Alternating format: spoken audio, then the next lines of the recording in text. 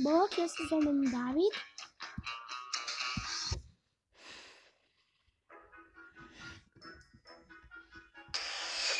E damos...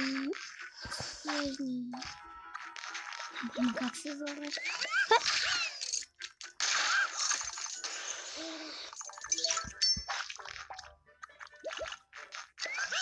E eles no gaibo? Aqui.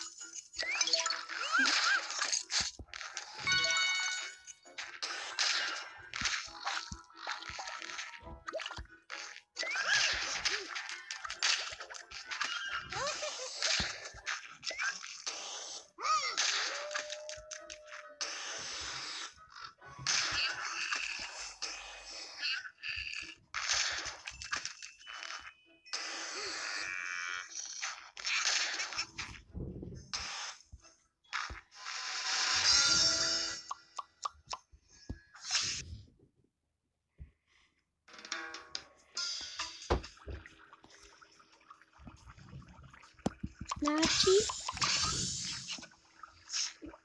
oprostite što malo radim tu.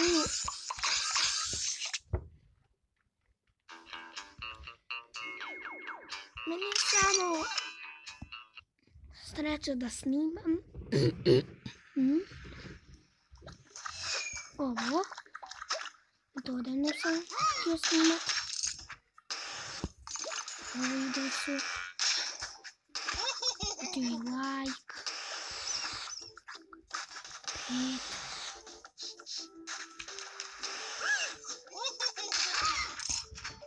Nećeš ti meni uhuhuhuhu.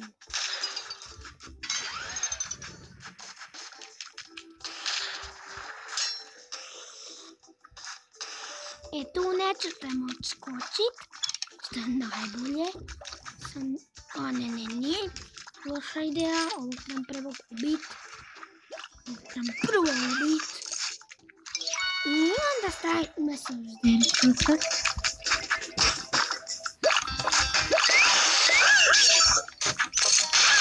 Aha, ovi zabavi su stvarno smiješni.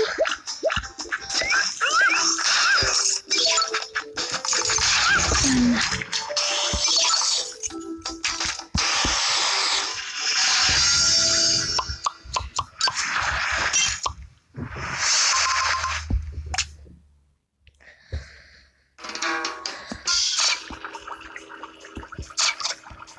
Kao što vidite, došla sam do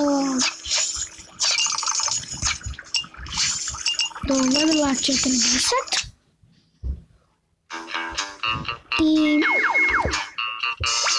to bi bilo to. Vidimo se.